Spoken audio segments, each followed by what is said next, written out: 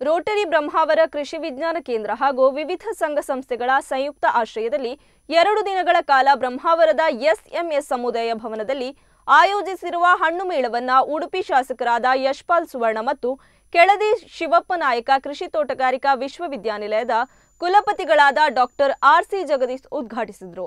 ಈ ಸಂದರ್ಭದಲ್ಲಿ ಮಾತನಾಡಿದ ಶಾಸಕ ಯಶ್ಪಾಲ್ ಸುವರ್ಣ ಮಾತನಾಡಿ ನಮ್ಮ ದೇಶದಲ್ಲಿ ಬಹಳಷ್ಟು ಜನರು ಕೃಷಿಯನ್ನೇ ಅವಲಂಬಿಸಿದ್ದಾರೆ. ದೇಶದ ಬಜೆಟ್ನಲ್ಲಿ ಕೂಡ ಕೃಷಿಗೆ ಹೆಚ್ಚಿನ ಮಹತ್ವವನ್ನು ನೀಡಲಾಗಿದೆ. ನಮ್ಮ ಜಿಲ್ಲೆಯಲ್ಲಿ ಬೇಸಿಗೆ ಕಾಲ, ಮಳೆಗಾಲ ಮತ್ತು ಚಳಿಗಾಲ ಮೂರು ಸಮಯದಲ್ಲಿ ಕೂಡ ಹಣ್ಣು ಹಂಪಲನ್ನ ಬೆಳೆಸಲು ಅವಕಾಶ ಇದೆ.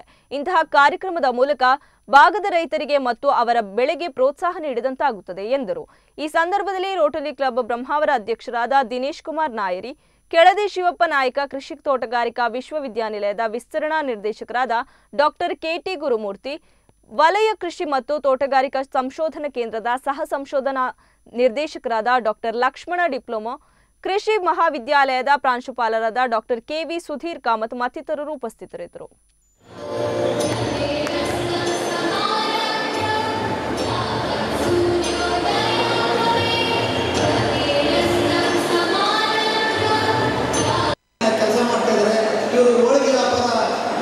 ಮಾಡಿದ್ರು ಹೋಳಿಗೆ ವ್ಯಾಪಾರ ಪ್ರಾರಂಭ ಮಾಡಿದ್ಮೇಲೆ ಇವತ್ತು ಅದೇ ಮುಖ್ಯ general saint Mary's orthodox religion Brahmavara ಇವರು.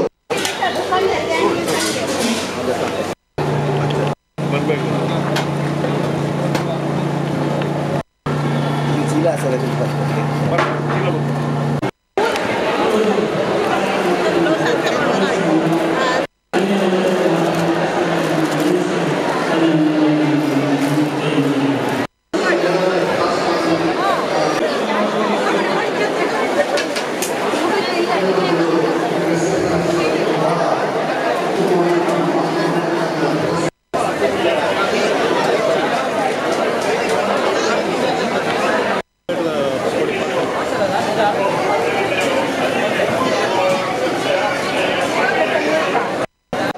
ದೃಷ್ಟಿಯಲ್ಲಿ ಇವತ್ತು ನಮ್ಮ ಕೃಷಿ ಕೇಂದ್ರ ಅದೇ ರೀತಿ ಡಾಕ್ಟ್ರಿ ಅವರು ಬಹಳಷ್ಟು ಅರ್ಥಪೂರ್ಣವಾಗಿ ಒಂದು ಕಾರ್ಯಕ್ರಮ ಆಯೋಜನೆ ಮಾಡಿದರು. ಯಾಕೆಂದರೆ ಇವತ್ತು ನಮ್ಮ ಜಿಲ್ಲೆ ವಿಶೇಷವಾಗಿ ಬೇರೆ ಜಿಲ್ಲೆಗೆ ಹೋಲಿಕೆ ಮಾಡಿದರೆ ಇವತ್ತು ಮೂರು ಕಾಲ, ಅಂದರೆ ಬೇಸಿಗೆ ಕಾಲ ಇರ್ಬೋದು, ಚಳಿಗಾಲ ಇರ್ಬೋದು, ಮಳೆಗಾಲ.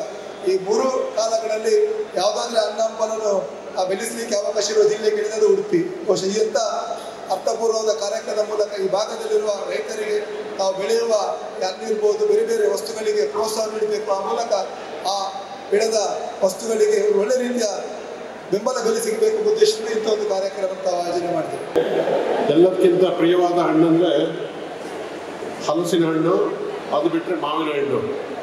ಎರಡೂ ಸಹ ಮಲೆನಾಡಿನ ಮತ್ತು ಈ ಕರಾವಳಿ ಭಾಗದಲ್ಲಿ ಅತ್ಯಂತ ಯಶಸ್ವಿಯಾಗಿ ಬೆಳೆಯುವ ಎರಡು ಬೆಳೆಗಳು, ತೋಟಗಾರಿಕೆ ಬೆಳೆಗಳು. ಯಾಕೆಂತ ಹೇಳಿದರೆ, ಇವು ಯಾವುದೇ ವಾತಾವರಣದಲ್ಲಿ ಬೆಳೆಯುವಂಥ ಬೆಳೆಗಳು. ಇದನ್ನು ನಾವು ಕರಾವಳಿ ಭಾಗದಿಂದ ಹಿಡಿದು ಮಲೆನಾಡಿನ ಎಲ್ಲ ಭಾಗದಲ್ಲಿ